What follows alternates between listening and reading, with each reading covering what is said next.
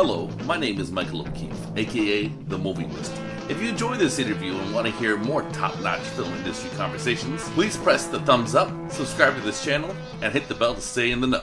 Alright, hello, Kantemir Balagov. How are you today? Great, thank you. Great. And uh, tell me about your movie Beanpole. What made you want to make that one? Well, because I've read uh, Svetlana Alexievich's book uh, called The Unwomanly Face of War, Mm. And this book showed me that I knew nothing about the war. Okay. And I knew nothing about the woman Mm. at the war, so it became interesting for me and I got obsessed with it. Alright, uh, uh, what did you learn? I've learned many things. Yeah. And for as a as a director, one of the most interesting thing for me is what happened with the woman who can give birth. What if he went to the war and been surrounded by death for four years Mm. and came back to the peaceful kind kind of peaceful life and tried to make a normal life and how she transforms how uh, what she felt in her body the physical shift the bi- biological shift the psychological shift all this all these things was interesting Yeah, definitely. And we were talking before I started recording about Soviet filmmakers, where we both really like that stuff. Yeah. Do you have a favorite Soviet film? a lot of a lot of i mean Larisa Shepitko wings uh, I don't know it? that one. No. Really? You stumped me, man. I, Wow.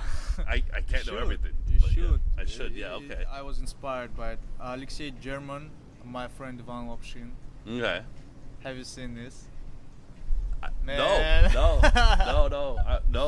No. Khutsiev, Marlen Khutsiev, um, Cranes Are Flying. I've seen that. That's a classic. Well, That's a classic. Yes, I can see the influence on that. yeah, On on, on Beanpole for sure. yeah.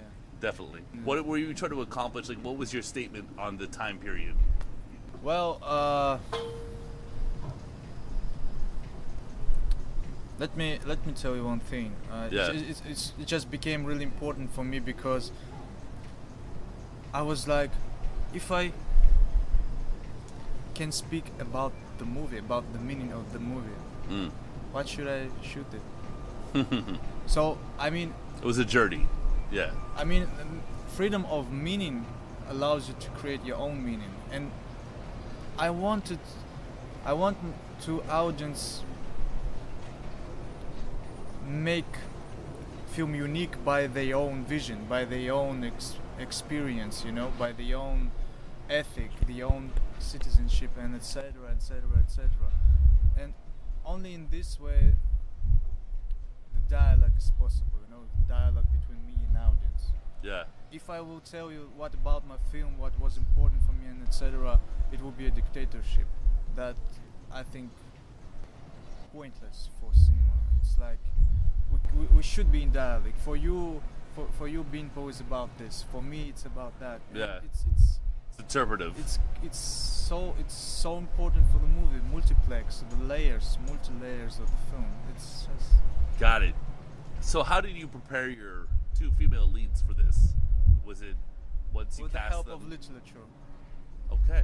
I, of course we cast them it was the first uh, cast it was the day the first day of the cast Yeah. casting and they came both and it was I was so surprised by it but after that uh, I advised I advised them to read Stan Alexievich uh, Daniil Granin books called uh, the Book of Siege of Leningrad it's like no it's like documentary interviews with uh, Mm. human beings who were at the siege Got it. in Leningrad. And Andrei Platonov's novels. Because Iya it's like mixed uh, of Andrei Platonov's characters. Mm. All right. No Dostoevsky? No, it's a different time period. No, Yeah. no, no, that's yeah. not Dostoevsky. Poor Raskolnikov, you know. He had a rough. So, could you tell me about your previous work before uh, this project? Closeness, this is my first feature film, or Mm. Tesnota. Uh, it's based, it took place in 1998 in, uh, in Nalchik, North Caucasus, my homeland, Okay. where I came from. Right. I heard. Yeah. Right. Yes. Right. And uh, this is a story about a young woman who wants to live her own life. Mm. sure. Okay. Yeah. Uh, that's great. And um, how did you get into filmmaking, though? I came it with non uh, sense of Okay. Right. Purposelessness? yes In life. Okay. because got it, got I never knew that I want to be a director. I never knew. It's really? just you just bumped into it? yes. Yeah, cool. What would you love to see change in the Russian film industry? I want to see more young directors. Mm. I really want to see this this kind of changes because as a young director uh, with my first one with my first one film I was struggled to make to get the finance Yeah. for the for the first feature especially when it's about North Caucasus who don't give a shit about this region in, in Russia People don't know it, no. Generally speaking. Generally Yeah, speaking, yeah, yeah, yeah. and in in Russia, cinema is based in Moscow. In, Yeah. in North Caucasus, there's no cinema at all. Mm. And I just got lucky to be studied in Alexander Sokurov studio, and he helped me with my first feature film. So I admire him, love him so much, and always be appreciated. Would you make the uh, the move to Hollywood? We'll see. I don't know. I don't. I don't want to rush it because uh, I want to rush it and get Mm. fall into it because I don't. I think that I don't know the details Yeah. of the of how he of how people lives there, of uh, mentality, mindsets, and some kind of things. But I think it will be interesting for me to get the Hollywood star and uh, make a film with him cool. in North Yeah. Okay, how about that? Yeah. That's, that's that's like a compromise, I guess. Yeah, yeah, yeah. All right, that's cool. Are you enjoying Toronto? Yeah. Yeah? I really love the city. Yeah, the the the rhythm of the city. Yeah. Is, I feel it's mine. It's kind of it's the people. A lot of people call it the clean New York. yeah, I've heard of it. We get that a lot. Yeah, And yeah. New York is like Toronto on steroids.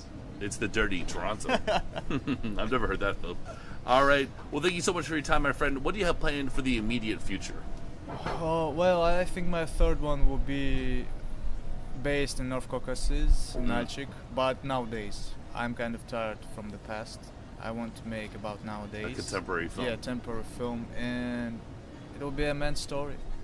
Well, I think it's great. You know, it's important. Sometimes people get a little Russia-phobic Yeah. and have misconceptions. Don't totally understand. And to uh, see see a period film like this that's really strong quality, we we have more in common than than you we have differences. And cinema is a great way to express that.